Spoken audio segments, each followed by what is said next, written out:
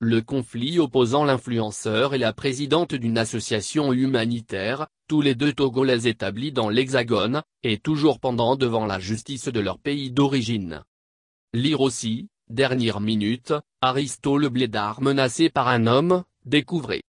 Aristo le blédard, très actif sur les réseaux sociaux avec ses vidéos délirantes et provocatrices, accusé de diffamation et d'insultes, profil bas suite à sa garde à vue de deux jours à la Direction Générale de la Police Nationale, DGPN, et après sa condamnation par le juge d'instruction à payer à Grota Waklatsi, la plaignante, la somme de 3000 euros, soit l'équivalent de 2 millions de FECFA. C'est l'accord qui a été trouvé entre les deux camps en conflit.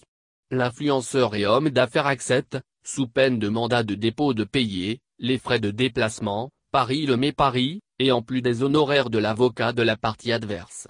En garantie, il a remis son passeport aux autorités compétentes.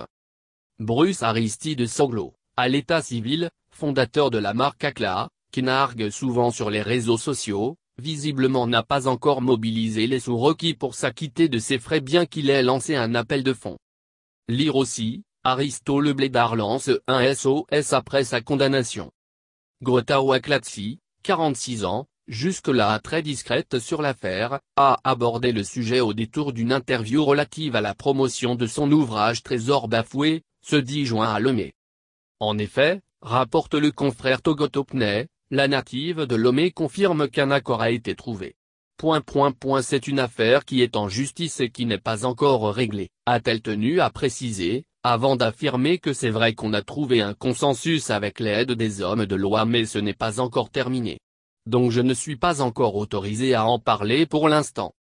La franco-togolaise, fondatrice de l'association humanitaire 1.2.3. Togo, a profité de l'occasion pour souligner qu'elle et Aristo le Blédard ne sont guère des ennemis, c'est un frère, il restera un frère, reprend-elle. Si elle a porté plainte contre son frère comme elle l'appelle, c'est pour exiger tout simplement un peu de respect, c'est tout, dénonçant ainsi à mots voilés le fait que certains utilisent les réseaux sociaux pour salir la réputation d'une personne, la vilir, la détruire pour, on ne sait quelle raison comme elle le signale déjà dans son livre Trésor bafoué dont elle fait la promotion. Lire aussi, dernière minute, Aristo le blédard libéré, son passeport saisi. L'homme qui aime les buts depuis sa garde à vue, disions-nous, fait profil bas. Ses visiteurs du soir également se gardent d'en parler publiquement. Si l'affaire est encore pendante devant la justice togolaise, c'est parce que les 2 millions de FECFA ne sont pas encore remboursés à la plaignante afin qu'on lui restitue son passeport devant lui permettre de, de voyager.